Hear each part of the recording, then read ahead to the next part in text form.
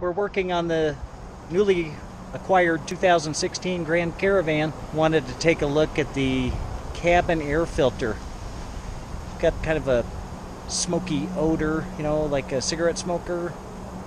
Must owned the van before we got it. Been trying to get that smell out of the van. Thought, well, maybe this is modern enough that it has a cabin air filter, which it does, basically behind the glove compartment. Let's take a look. This, I think, is going to be quite the surprise. You reach back here and release the dampener cord. Let that go. Then you squeeze both sides of the glove box pretty hard to open it up just like that. Oh, hey, what is that? Just a moth, right? Golly. You just have to reach up there on both sides, release the cover, get that out of the way. There's the cabin air filter.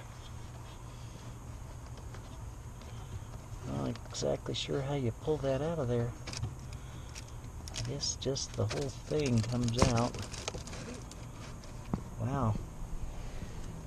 There it is.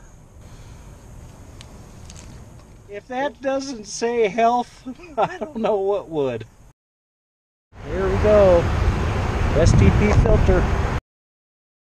Spray the Odoban into the air duct system with the air conditioner on recycle, and that'll help clean any bacteria out of the system.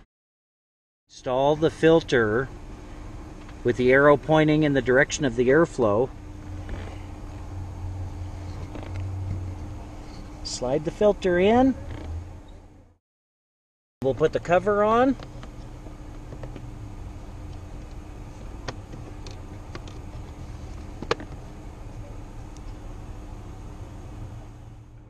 We'll reach back here and get the dampener cord. Pull that, then we'll lift up the glove compartment. Squeeze the two sides in, put it in place, and then attach the dampener cord. AutoZone 1999.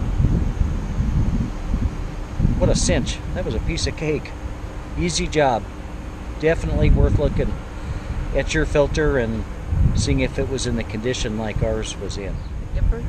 One for the Gipper. Gipper? One for the books.